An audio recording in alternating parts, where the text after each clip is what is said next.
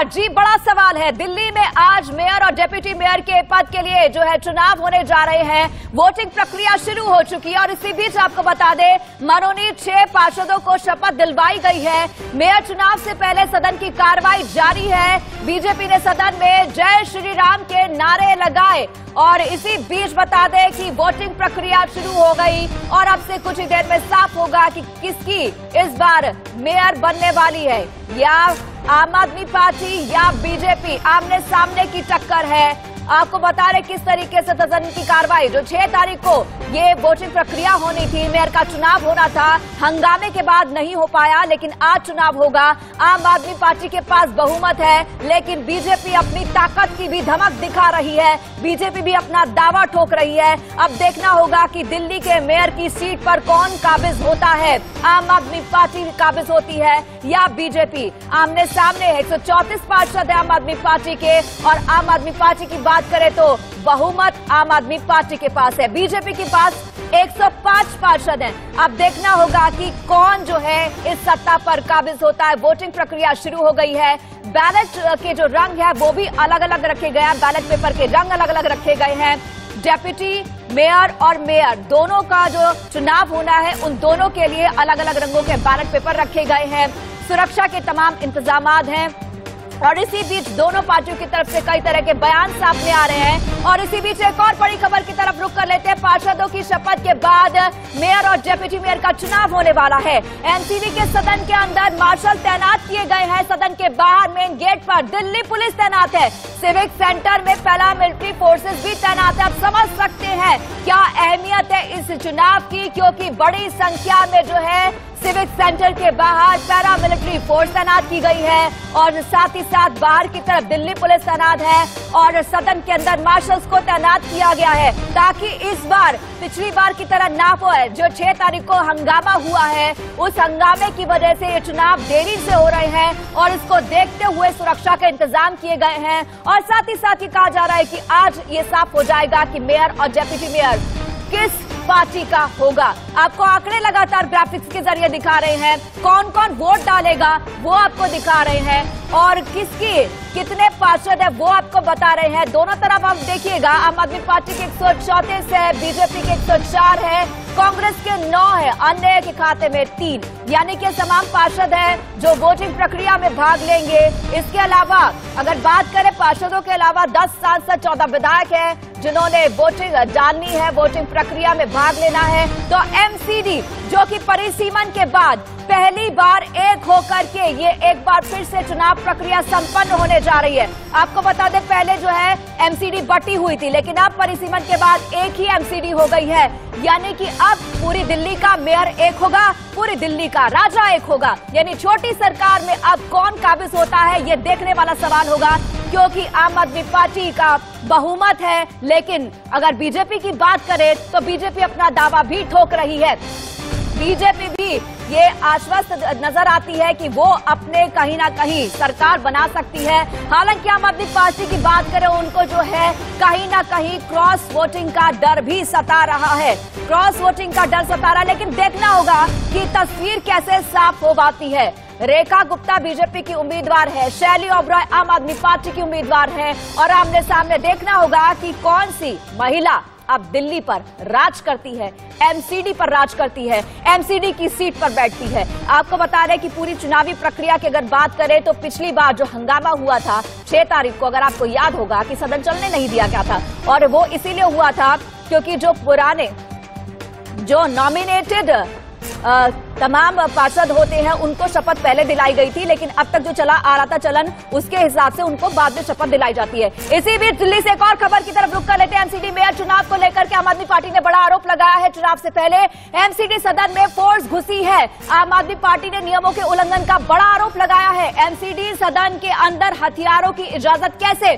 चुनाव से पहले एमसीडी सदन में अर्धसैनिक बलों की तैनाती है। आपको बता दें कि अर्धसैनिक बलों की तैनाती है पैरामिलिट्री फोर्सेस की तैनाती है, और साथ ही साथ दिल्ली पुलिस भी वहाँ पर तैनात है। यानी कि सुरक्षा जो है, हर मुद्दे पर जो है, हर लेवल पर लगाई गई है, और सुरक्षा को लेकर सवाल भी जो है, आम आदमी पार्टी ने उठाए हैं कि सदन के अंदर किस तरीके से फोर्स को तैनात किया गया है, हथियार लाए गए हैं, ये बड़ा सवाल जो है, आम आदमी पार्टी ने उठाया है। ज़्यादा जानकारी के साथ हमारे साथ जुड़ गए हमारे सहयोगी नवीन निषाद नवीन। ताज़ा अपडेट क्या है? एमसीडी की चुनाव प्रक्रिया किस स्तर पर पहुँची है?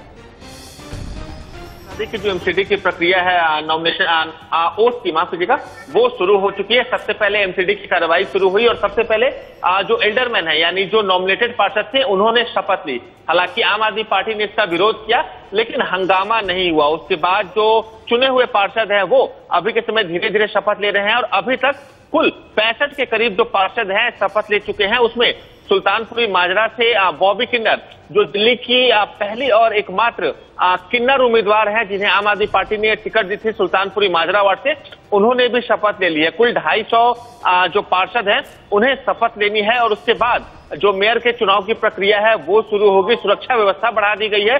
जो तमाम सीआरपीएफ के जवान है, जो दिल्ली पुलिस के जवान है, वो डिप्लॉय किए गए हैं। हाउस के अंदर भी मार्शल तैनात किए गए हैं, क्योंकि छह जनवरी को जो हमने एमसीडी के अंदर हंगामा देखा था कि पार्षदों में हाथापाई हुई थी कुर्सियाँ तक चली थी, उससे सबक लेते हुए एमसीडी ने आज पहले से ही सुरक्षा व्यवस्था बढ़ा दी है। जो तमाम सीआरपीएफ की डिप्लॉयमेंट है, वो चप्पे चप्पे पर की गई है और आज जो स्थिति है, वो अभी तक पूरी तरह से शांतिपूर्ण है। हालाँकि शुरू में थोड़ा हंगामे के आसार थे, लेकिन आम आदमी पार्टी ने बस विरोध किया, हंगामा देखने को नहीं मिला और अभी के समय जो सदन है, वो सुचारू रूप से चल रहा है और एरिया वाइज यानी जो कॉन्स्टिट्युएंसी वाइज होती है, उस हिसाब से जो तमाम पार्षद है वो शपथ ले रहे हैं जिसकी शुरुआत नरेला से हुई थी। कुल पैंसठ पार्षद अभी तक शपथ ले चुके हैं। ढाई सौ पार्षदों को शपथ लेनी है। उसके बाद मेयर का इलेक्शन होगा डिप्टी मेयर का इलेक्शन होगा और जो स्टैंडिंग कमेटी के मेंबर पद हैं उनके लिए इलेक्शन होगा। जी। नवीन आपसे ये भी जानना चाहेंगे कि चुनाव प्रक्रिया जो है कुछ ही देर में शुरू होगी क्योंकि अभी शपथ ग्रहण का ही कार्यक्रम चल रहा है। शपथ के बाद जो है वो आ, जो है, पूरा बैलेट पेपर के ज़रिए जो है वोटिंग होगी कि कौन बनेगा मेयर कौन बनेगा डेप्यूटी मेयर लेकिन इस बीच जो है, बड़ा आरोप लगाया गया है आम आदमी पार्टी ने कि सदन के अंदर जो है फोर्सेस को तैनात किया गया है, हथियार लाए गए हैं। बड़ा जो है, सवाल उठा है। इस पर क्या कुछ प्रतिक्रिया मिल पाई है बीजेपी की तरफ़ से?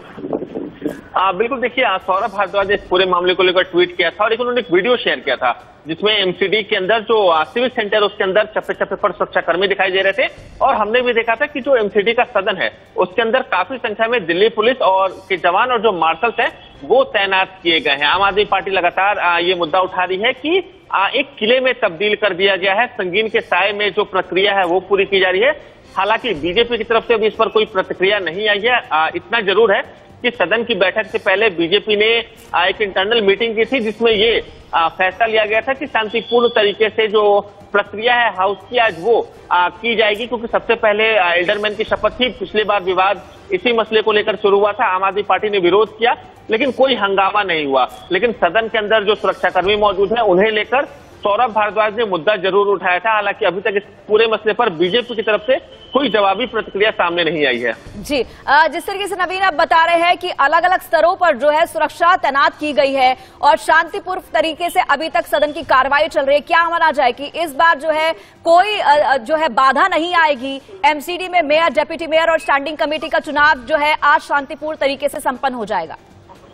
बिल्कुल देखिए, अभी तक जो टेंडेंसी चली आ रही है, उसके हिसाब से सब कुछ शांतिपूर्ण तरीके से चल रहा है। जो मिनट की लिस्ट थी, उसी हिसाब से जो तमाम प्रक्रिया है, उसका पालन हो रहा है। क्योंकि सबसे पहले पार्षद ओथ लेंगे, उसके बाद मेयर के इलेक्शन होंगे। तो कहीं ना कहीं जो तमाम प्रक्रिया है वो सुचारू रूप से ही चल रही है। जो पार्षद हैं वो धीरे धीरे शपथ ले रहे हैं अपने कॉन्स्टिट्यूंसी वाइज चलिए उम्मीद उम्मीद हम कर रहे हैं कि नवीन आज जो है ये पूरा काम जो है शांतिपूर्वक तरीके से संपन्न होगा। आप जुड़े रहिए मेरे साथ। इस बीच एक खबर आ रही है बीजेपी नेता हंसराज हंस का बड़ा बयान सामने आया है। दिल्ली में मेयर बीजेपी का बनेगा। हंसराज हंस ने बात कही है मीडिया के सामने। नतीजा बीजेपी के पक्ष में आएगा हंसराज हंस। आम आदमी पार्टी सदन को नहीं चलने देना चाहती है, ये आरोपी हंसराज हंस ने लगाया है। नवीन आपके पास आऊँगी, इस पर जानना चाहूँगी, लेकिन उससे पहले सुनवाते हैं कि क्या कुछ कहा है हंसराज हंस ने काम सिर्फ़ सवाल करना, उनके पास कोई जवाब नहीं होता। लेकिन सर्जिकल स्ट्राइक और बस वो फ्री हो चुके हैं ना साहब ने सब फ्री कर दी दुकानें बंद कर दी हैं उनकी हाँ। तो परेशान है फ्रस्ट्रेटेड है।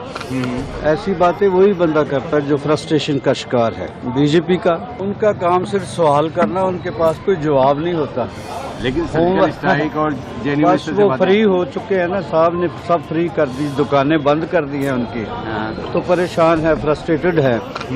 ऐसी बातें वही बंदा करता है जो फ्रस्ट्रेशन का शिकार है। बीजेपी का उनका काम सिर्फ़ सवाल करना उनके पास कोई जवाब नहीं होता। लेकिन सर्जिकल स्ट्राइक और बस वो फ्री हो। चुके हैं ना साहब ने सब फ्री कर दी दुकानें बंद कर दी हैं उनकी। हाँ। तो परेशान है फ्रस्ट्रेटेड है। ऐसी बातें वही बंदा करता है जो फ्रस्ट्रेशन का शिकार है। बीजेपी का। उनका काम सिर्फ़ सवाल करना उनके पास कोई जवाब नहीं होता। लेकिन सर्जिकल स्ट्राइक और बस वो फ्री हो। चुके हैं ना साहब ने सब फ्री कर दी दुकानें बंद कर दी हैं उनकी। हाँ। तो परेशान है फ्रस्ट्रेटेड है। ऐसी बातें वही बंदा करता है जो फ्रस्ट्रेशन का शिकार है। बीजेपी का उनका काम सिर्फ़ सवाल करना उनके पास कोई जवाब नहीं होता। लेकिन सर्जिकल स्ट्राइक और बस वो फ्री हो चुके हैं ना साहब ने सब फ्री कर दी दुकानें बंद कर दी हैं उनकी। हाँ। तो परेशान है फ्रस्ट्रेटेड है। ऐसी बातें वही बंदा करता है जो फ्रस्ट्रेशन का शिकार है। बीजेपी का उनका काम सिर्फ़ सवाल करना उनके पास कोई जवाब नहीं होता। लेकिन सर्जिकल स्ट्राइक और बस वो फ्री हो चुके हैं ना साहब ने सब फ्री कर दी दुकान सीधे जानकारी के साथ जुड़े हुए हमारे साथ हमारे सहयोगी नवीन निशांत। नवीन, ये बताएँ कि जिस तरीके से हंसराज हंस को आपने सुना, उन्होंने काफ़ी जो है ये आश्वस्त तरीके से कहा है कि मेयर तो बीजेपी का बनेगा। अब इसे कैसे देखते हैं? क्या आम आदमी पार्टी को भी इस बयान को लेकर के खतरा नज़र आ रहा है? क्रॉस वोटिंग हो सकती है। बीजेपी किस बिना पर अपने इस बात के ऊपर आश्वस्त नज़र आती है कि एमसीनी में इस बार मेयर उन्हीं का होगा? देखिए संख्या की बात करें तो बीजेपी बहुमत से काफ़ी दूर है। क्रॉस वोटिंग ही एक ज़रिया है, जिसके कारण जो बीजेपी है, उसके जो मेयर है, वो बन सकता है। क्योंकि संख्या की बात करें तो आम आदमी पार्टी के पास एक सौ चौंतीस जो संख्या है पार्षदों की, वो है। उसके अलावा जो तेरह चुने गए विधायक हैं, वो अपने मत का प्रयोग पार्षद निर्वाचित होने पर ईश्वर को शपथ शपथ लेता हूँ। कि विधि द्वारा स्थापित भारत के संविधान के प्रति चुने हुए हैं। वो है और उसके अलावा सात जो उनके लोकसभा के सांसद हैं वो। तो बीजेपी के पास कुल संख्या की बात करें तो 111 संख्या बैठती है जो बीजेपी के पास है। तो निश्चित तौर पर संख्या देखें तो आम आदमी पार्टी मेजोरिटी में है। और मेयर के चयन के लिए अगर हम बात करें तो जो बहुमत चाहिए, वो आम आदमी पार्टी के पास आसानी से उपलब्ध है। लेकिन बड़ी दिक्कत, जो चिंता की बात भी आम आदमी पार्टी के लिए हो सकती है, वो है पार्षदों की क्रॉस वोटिंग। क्योंकि जो कांग्रेस है, वो चुनाव प्रक्रिया से पूरी तरह से दूर है। उन्होंने साफ़ कह रखा है कि हम अपने मत का प्रयोग नहीं करेंगे, चुनाव में हिस्सा नहीं लेंगे। लेकिन क्योंकि एमसीडी है, यहाँ जो दल बदल कानून है, वो लागू नहीं होता और बैलेट पेपर के ज़रिए वोटिंग होती है तो ये भी पता नहीं लगाया जा सकता कि क्रॉस वोटिंग किसने की है। तो बीजेपी लगातार ये दावा कर रही है कि मेयर आ, उनका होगा लेकिन आम आदमी पार्टी पूरी तरह से आश्वस्त है कि उनका कोई भी पार्षद क्रॉस वोटिंग नहीं करेगा और जो मेयर है वो आम आदमी पार्टी का ही बनेगा। जी अ, ये पिछली बार भी अगर हमने देखा हंगामा जो हुआ था सदन के अंदर आपको भी याद होगा नवीन ये किस तरीके से खरीद फरोख्त का आरोप आम आदमी पार्टी ने तब भी लगाया था। तो इस बार क्या कुछ कहना है? इस बार भी किसी तरह का आरोप जो है आम आदमी पार्टी ने बीजेपी पर लगाया है? आ, देखिए पिछली बार जो पूरा विवाद हुआ था वो एल्डरमैन को लेकर हुआ था और आम आदमी पार्टी का ये आरोप था कि एल्डरमैन को Bharatiya Janata party voting right देना चाहती है।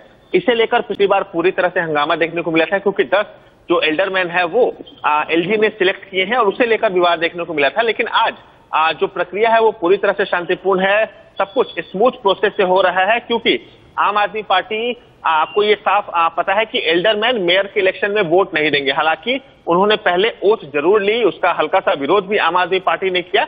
लेकिन आ, आम आदमी पार्टी आ, की के लिए राहत की बात यह है कि जो कल मिनट्स के डॉक्यूमेंट्स आए हैं उसमें इस बात का ज़िक्र है कि जो एल्डरमैन है आ, वो पहले ओथ ले सकते हैं इलेक्टेड काउंसलर्स वोट ले सकते हैं। तो इसे लेकर आम आदमी पार्टी आज का मुद्दा नहीं बना रही। अगर आ, जो एल्डरमैन है वो अगर मेयर के इलेक्शन में वोट देते हैं तो निश्चित रूप से जो आम आदमी पार्टी है इसका मुद्दा बनाएगी क्योंकि जो एल्डरमैन है जो इलेक्ट जो नॉमिनेटेड काउंसलर्स होते हैं उन्हें आ, बस जो जोन्स के इलेक्शंस होते हैं एमसीडी में वहाँ वोटिंग राइट का अधिकार होता है हाउस के अंदर नहीं होता। इसे लेकर भी पिछली बार आम आदमी पार्टी ने मुद्दा बनाया था लेकिन अभी तक आ, ये जो मुद्दा है वो पूरी तरह से शांत है। तमाम जो चुने हुए पार्षद हैं वो धीरे धीरे शपथ ले रहे हैं। जी, और अपने दर्शकों को एक बार दिखा देते हैं कि सदन में किस तरह की कार्रवाई चल रही है। जैसा कि नवीन बता रहे हैं कि अभी सिर्फ़ ओथ की प्रक्रिया चल रही है। सीधी तस्वीरें आपको दिखाते हैं। ये तस्वीरें जो है, इस वक्त सदन के अंदर की है, जहाँ पर कार्रवाई चल रही है और मार्शल अंदर तैनात किए गए जिसको लेकर के आम आदमी पार्टी ने सवाल उठाए हैं और बीजेपी पर तमाम आरोप लगाए लेकिन बीजेपी वहाँ पर अपने आप के लिए ये कह रही है कि इस बार मेयर तो बीजेपी का होगा। किस बिना पर कह रही है? क्योंकि वो बहुमत से दूर है, देखना होगा। और आम आदमी पार्टी की बात करें तो क्रॉस वोटिंग का खतरा जो है, एक हमेशा बना रहता है, जिसके पास बहुमत होता है। लेकिन अब देखना यह होगा कि दिल्ली में छोटी सरकार में कौन जो है शीर्ष पद पर बैठता है, कौन एमसीडी का मेयर बनता है, कौन एमसीडी का डेप्यूटी मेयर बनता है स्टैंडिंग कमेटी का भी चुनाव आज होना है। तो आपको बता रहे किस तरीके से दिल्ली में मेयर का चुनाव चल रहा है, सियासी घमासान चल रहा है, मेयर का चुनाव होगा, और फिर उसके बाद जो है, ये साफ़ हो जाएगा कि किसके खाते में आता है मेयर और डेप्यूटी मेयर का ये पद, क्योंकि दिल्ली की छोटी सरकार कही जाती है एमसीडी और परिसीमन के बाद ये पहली बार जो है चुनाव हो रहा है। और इसमें देखना होगा कि कौन इस सत्ता पर काबिज होता है, क्योंकि बहुमत की बात करें, आम आदमी पार्टी के पास बहुमत है, बीजेपी के पास बहुमत नहीं है, बहुत दूर है, लेकिन बीजेपी दावा ठोकती आ रही है कि इस बार मेयर उनका होगा, लेकिन किस बिना पर बोल रही है देखना होगा, क्योंकि दल बदल कानून की अगर बात करें, यहाँ पर लागू नहीं होता तो क्रॉस वोटिंग का एक बड़ा खतरा है। बैलेट पेपर के ज़रिए जो है, वोटिंग की जा रही है, वोटिंग होगी तो ये देखना होगा कि इस बार एमसीडी में कौन आता है।